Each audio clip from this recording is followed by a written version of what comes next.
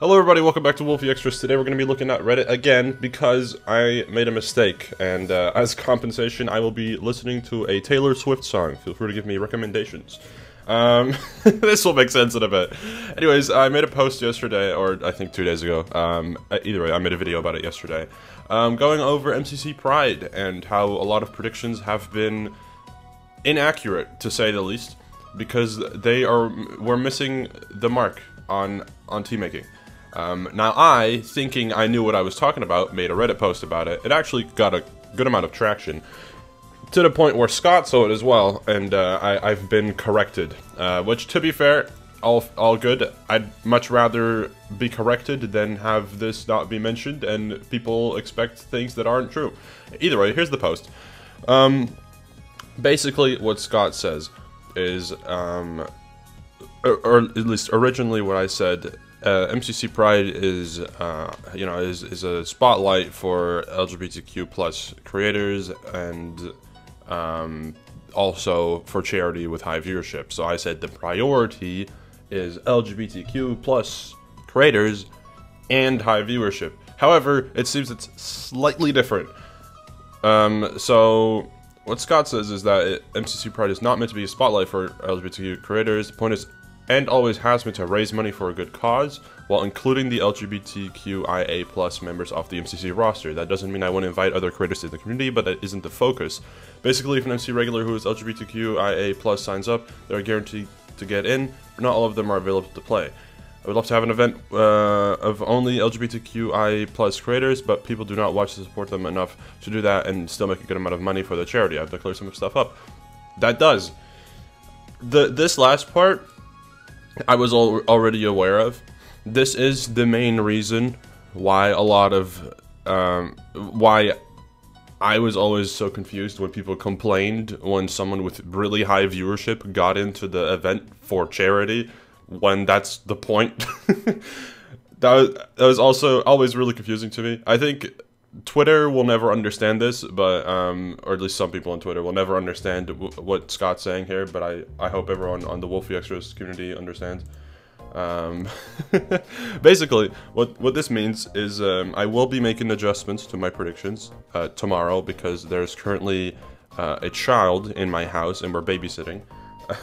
my my cousin's son is here, and uh, I, I, he he goes to bed when I usually stream, and I you know he, otherwise he cries and you know he gets the priority. I'm sorry, okay. but yeah, I'll, I'll, do it tomorrow because uh, I'm pretty sure he's going tomorrow. I hope, respectfully. Um, so yeah, uh, I mean we can look into it real quick right now. Um, here is the predictions we ended up with most recently, uh, at least together on stream. Now, as you can see here, there's a couple of newcomers. You have Owen, Gucky, Misty, uh, Oppo, Olive, and I think that's it. So that's five creators, all of which I would respectfully put under the category of LGBTQIA+, but not very high viewership. At least when you speak in terms of MCC. I think that's relatively fair to say. Respectfully, obviously. So, when making predictions, what we probably need to do is reduce that number from five to like one or two. Now, one of them I think makes a lot of sense, which is Owen. I, I think Owen, if he wants to, of course, should be in this event because I think the MCC community is very familiar to him, and I think he's great, and I think he deserves to play if he wants to. Uh, obviously, some people will be a little confused because he used to be in the Noxcrew, but to my knowledge, that doesn't really matter, especially considering that's been quite a lot of time ago and he didn't even test. He was just a video guy. So, you know, that's that's a thing.